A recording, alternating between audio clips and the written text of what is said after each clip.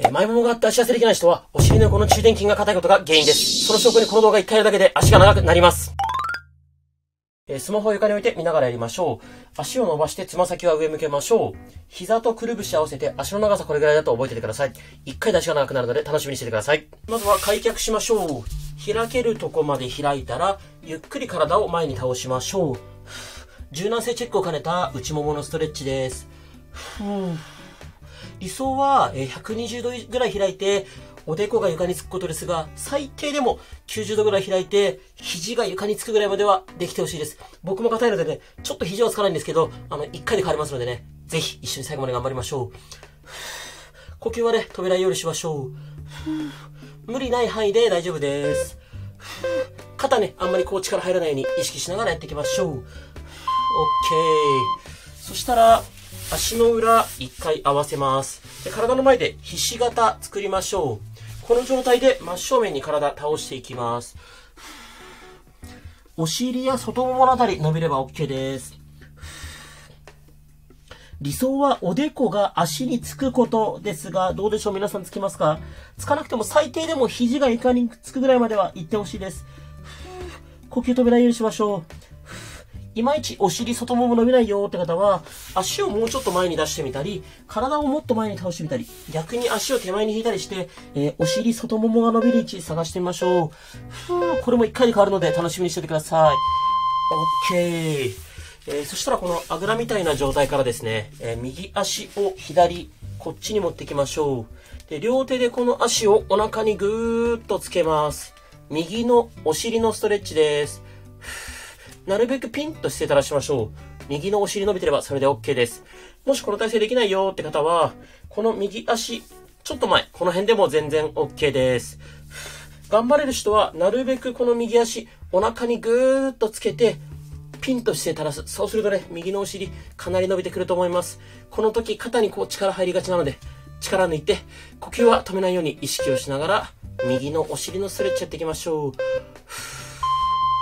OK です。そしたらですね、一回両手で右足持ちます。こんな感じで持ちます。肘に引っ掛けれる人は肘に引っ掛けて、なるべく高い位置で、こうゆらゆら揺らしましょう。こんなに上がんないよって人は、こうやって手で持って、この辺でもいいです。なるべく自分ができる範囲で高い、高い位置でゆらゆらしましょう。頑張れる人はこうやって肘に引っ掛けて、なるべく高い位置で、呼吸止めないようにしましょう。で、あんまりね、肩こう力入りすぎたりとか、呼吸止まらないようにしましょう。慣れてきたら、ちょっとずつちょっとずつ高い位置で、ゆらゆらやれるといいと思います。呼吸は止めないで、肩あんまり力入らないようにしましょう。ふうよし、オッケー。そしたらですね、右足ちょっと前に出しましょう。この状態で体真正面に倒していきます。右のお尻、外ももあたりのストレッチです。これもね、おでこが床につくのが理想ですが、僕もちょっとまだつかないです。伸びますか？お尻、外もものあたり。いまいち伸びないよって方は、もうちょっと足を前に倒した、出したりとか、体をね、斜め前に倒したりとか、もしくは足を手前に引いたりして、あ、この角度、右のお尻、外ももあたり伸びるなーって角度、探してみましょう。で、これ終わったらね、右足が伸びてることを実感していただきます。楽しみにしててください。よし、オッケー。そしたらもう一回両足伸ばしましょう。こうすると、右足が伸びてるの、皆さんわかりますか？変化実感できますか？続きやっていきましょう。そしたら次は足を伸ばします。膝を伸ばした状態で前屈していきましょう。呼吸止めないようにして、反動つけながらでいいです。どんな硬くてもつま先が、つま先にこう指先がね、触れるぐらいまでは行ってほしいです。ふう理想はこの手首がつま先につくことです。ふうでもね、できなくても大丈夫です。この膝裏とかね、裏もも、背中あたりが硬いとできないんですが、こうやってね、毎日のように習慣化ゆるーくしていけば、できるようになりますので安心してください。で毎日できない人はね、最低でも週に1回、週に1回できればね、十分習慣化って言いますので、ゆるーくズボラにね、頑張っていきましょう。オッケー。そしたら、次、開脚できるとこまでしましょう。で、そんな限界まで開くっていうよりも、まあ、ある程度開いたら、この状態で、つま先、内、外、ねじります。こんな感じです。限界まで開くとね、あんまり動かないんで、ちょっと限界より緩めぐらいで、つま先内外にねじる。きつかったら手を床について、こんぐらいでもいいです。で、慣れてきたらちょっとずつ広げていく。呼吸を止めないようにしましょう。で、あんまりね、肩、こう力入んないようにしましょうね。皆さんどうですか？ついてきてますか？もしきつかったら、え再生速度調整したりとか、各種目のね、最後の10秒サボったりしながら、ズボラにやっていきましょう。OK。そしたら一度、体育座りです。体育座りしたら、両手で、こう、裏ももを抱え込みます。こんな感じ。で、このままおへそを覗き込むようにして、背中を丸めるわざと猫背を作ります。背中のストレッチなんですが、皆さん伸びますか？硬い人は裏ももが伸びるかもしれません。ふーもしもいまいち伸びないよっていう方は、もうちょっと膝伸ばして、両手で抱えて、おへそ覗き込んでみたりとかしましょう。裏もも、背中あたりが伸びると思います。なるべく目線は、おへそでしっかり背中丸める。わざと猫背を作りましょう。ふー呼吸止めないで。OK。そしたら、両手で裏もも叩いていきましょう。裏もものマッサージです。さっきからね、ちょいちょい右上にこうコメントが出ると思うんですが、こう、ズボラストレッチでね、実際に痩せた視聴者さんの声です。本当にね、早い方で1週間ぐらいで変わる方もいますね。で、僕個人的におすすめなのは、太ももとかウエストとか気になる部分をね、あのー、なるべく定期的にメジャーを使って計測しておくと変化がわかりやすいと思います。あ、今この軽くグー作って裏もも叩いてます。痛気持ちいいぐらいでやっていきましょう。ふー、呼吸止めないでー頑張って頑張って。ふ。よし、オッケー。そしたらですね、えー、次は、ちょっとこんなあぐらみたいな状態にして、えー、左足を右、こっちに持ってきます。で、両手でこの足をお腹にグッとつけましょう。左のお尻伸びる感覚ありますか？なるべくピンと姿勢垂らすと、より伸びてきます。この状態できないよって方は、左足ちょっと前、この辺でもいいです。左のお尻伸ばすことが目的です。伸びてればそれで OK です。多少ね、僕と違うポーズになっちゃっても大丈夫です。肩はあんまり力入れすぎない。呼吸は止めないようにしましょう。で、基本的にね、この動画投稿した直後、なるべく僕コメント見て返すようにしてるので、気軽にね、コメントいただければと思います。よし、OK。一回足戻しましょう。で、左足を両手で持ち上げます。こんな感じです。肘にかけれる人は肘にかける。こんな上がんないよって人は手で左足持つ。こんな感じでいいです。で、なるべく高い位置でゆらゆらしていきましょう。ゆらゆらーと。無理ない範囲でいいです。頑張れる人は、なるべく高い位置。で、この時ね、あんまり肩にこう力入りすぎないようにしましょうね。頑張って頑張って。どうしてもきつかったらね、低い位置でも全然問題ないです。できる範囲で OK。何もしないよりもね、この動画クリックして、こうやってやってる時点でもう素晴らしい。全然ズボラじゃないですから。頑張りましょう。OK。そしたらですね、ちょっと左足、体の前に出しましょう。で、体の真正面に倒していきます。左のお尻、外もも、この辺が伸びてれば OK です。どうでしょう？伸びますか？ふーいまいち伸びないよって方は、左足もうちょい前に出したり、ちょっと手前に引いたりとか、もっと体を倒したりとか、斜め前に倒したりして、左のお尻、この辺がね、伸びる角度探してみましょう。呼吸は止めないようにしましょ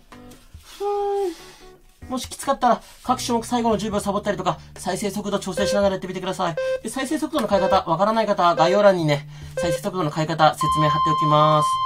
OK です。そしたら、もう一回両足伸ばして足の長さ見てみましょう。こうすると左右揃ってるはずです。揃ってない方は短い方少し多めにストレッチやってあげましょう。そしたら、体育座りの状態使って作ります。え左足を右足に乗せます。こんな感じです。で、なるべく、えー、足をこう胸に近づける姿勢垂らす。こうすると左のお尻伸びてくるはずです。このポーズできないよって方は、一回足を伸ばして、この状態で左足を右足に乗せる。それで、こんな感じでも OK です。目的は左のお尻伸ばすこと。これぐらいでも全然 OK。頑張れる人はなるべく足を胸に寄せて、ピンと姿勢張る。呼吸は止めないようにしましょう。自分のできる範囲でいいです。誰かとね、競争してるわけじゃないんで、ズボラにゆるーく習慣化していきましょう。OK。よし。では、逆いきます。えー、右足を左足乗せます。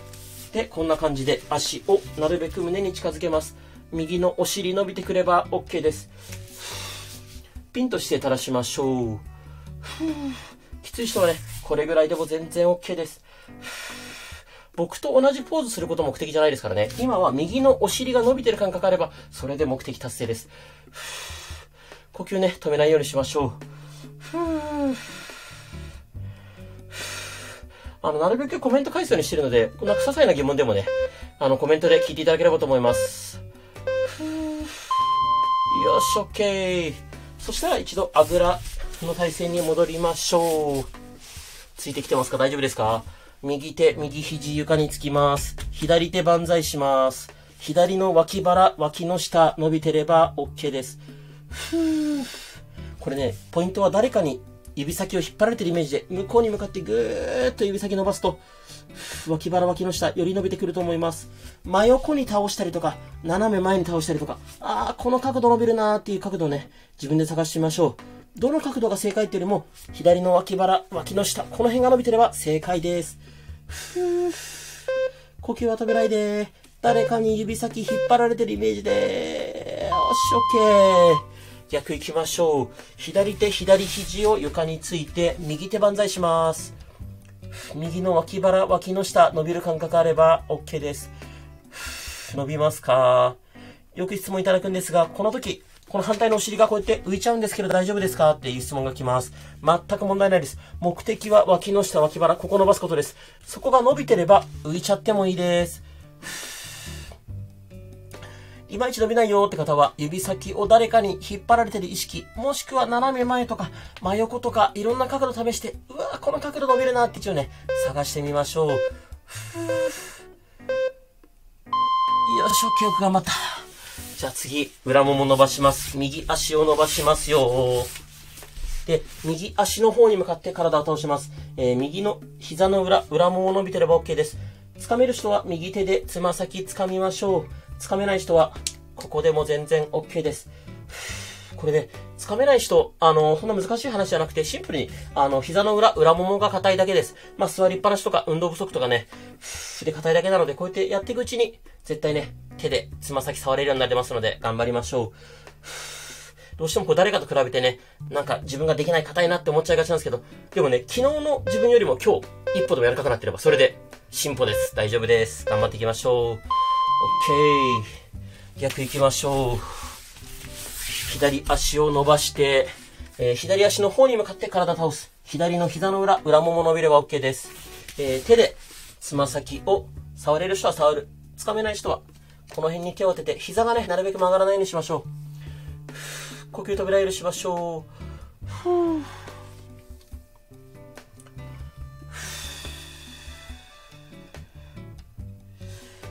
もうね、皆さんここまで頑張ってる時点で結構すごいんですよ。あの、YouTube ってデータ見れるんですけど、1種目目、2種目目でやめちゃう方もいっぱいいる中で、ここまで頑張ってる、もうその時点でね、ズボラじゃないですからね。もう自分に拍手。もうこの時点ですごいですよ。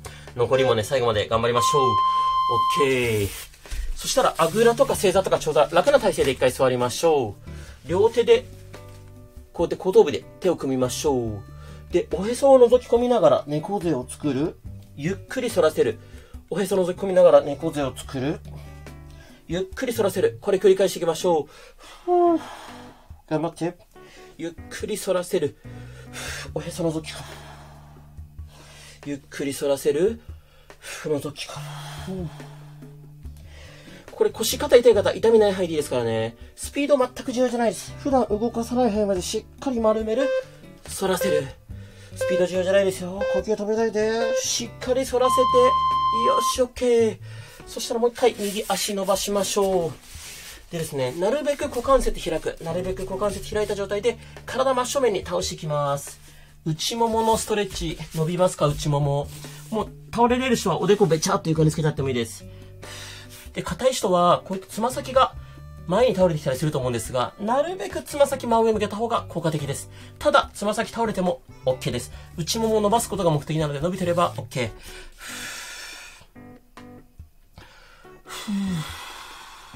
で、結構ね、こういろいろ疑問ある方が多いので、概要欄のサブチャンネルとか、ズボラストレッチの教科書で無料で解説しますので、そちらからね、疑問がある方見ていただければと思います。OK。あと、逆足いきます。左足伸ばして、なるべく股関節開く、こう開脚した状態で体は正面に倒していきましょう。左の内もも伸びる感覚あれば OK です。つま先がこうやって前に倒れてきちゃう方は、なるべく真上向けた方が効果的ですが、前に倒れててもね、内もも伸びてれば OK です。無理ない範囲でやっていきましょう。呼吸は止めないようにしましょう。どうでしょう？ついてきてますか？一応ですね、皆さんのやりやすいように、各種目の秒数とか、種目と種目の間とか、調整してるつもりなんで、ちょっと早いとか遅いとかあればね、ぜひコメント欄で遠慮なくご意見いただければと思います。OK です。そしたらですね、ちょっとこのあぐらみたいな状態から、右足、こうやって一歩前に出しましょう。この状態で体を真正面に倒して、右のお尻、外ももあたりを伸ばした状態で、右手万歳します。はぁ、きつい。右の脇腹、右のお尻同時に伸ばしてます。どうでしょう？見えますか？ちょっと見えづらい方、向き変えます。こんな感じで右足前に出して、お尻外もも伸ばしたまま、右手万歳して、右の脇腹伸ばす。ふぅ、きつい。なるべく手は誰かに引っ張られてるイメージで遠くに手を伸ばすと、脇腹、脇の下伸びると思います。頑張ってよーし、オッケー。ちょっと難しかったですね。反対行きましょう。左足前に出して、そのまま体真正面に倒す。で、左手万歳する。左のお尻伸ばしながら、左の脇腹、脇の下、伸ばしていきます。ちょっとこれきついですが、頑張りましょう。あの、よくね、こう、エアコン、暖房つけたりして、やっていいですかとかね、逆に夏場は、こう、クーラーつけてやっていいですかってご意見いただくんですが、もちろん OK です。あの、皆さんがね、やりやすい室温に調整してやっていただければと思います。あの、逆に僕は、あの、エアコンつけると、エアコンの音がこの動画に入っちゃうのでつけてないんですけど、皆さんはつけていいですからね。自分のやりやすい室温にしてやっていただければと思います。OK です。よく頑張った。そしたら、一回両足伸ばします。で、手、後ろについちゃいましょう。で、肩幅よりちょっと広めぐらいに開いたら、休憩です。内外にねじりましょう。ブラブラーっと。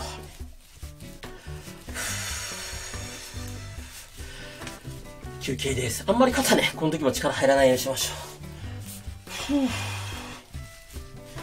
でですね、なるべくこう皆さんに習慣化してほしいので、一応 Twitter とかインスタも僕やってるんですよ。そうするとこう、ね、スマホいじって SNS 見てるだけで、なんとなくゾフォラストレッチ流れてきて、あ、やんなきゃなみたいになるかなと思って、一応毎日更新してるのでね、もしご興味ある方は、概要欄から Twitter、インスタ、あと TikTok とかね、フォローしていただけると嬉しいです。よし、OK。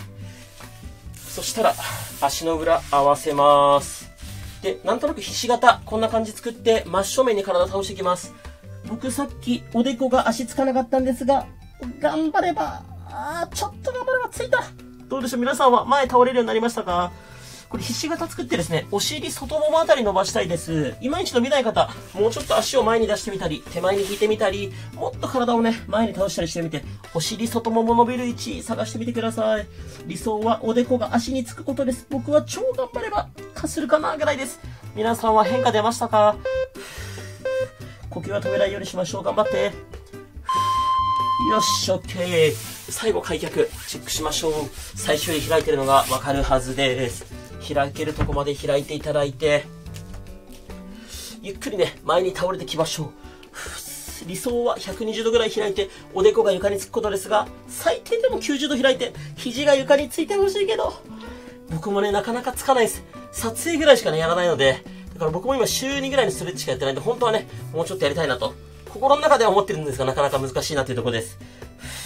で、この動画だけじゃね、もったいないよって方いると思うので、概要欄に追加のね、ストレッチ貼っておきます。ぜひね、そのまま続けてやっていただければ、足痩せの効果倍増しますので、やってみてください。よ